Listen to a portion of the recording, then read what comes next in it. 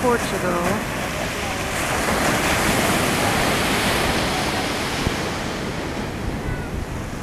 We've been flying all night. I've had patchy sleep on the plane, but I had to come down to the beach.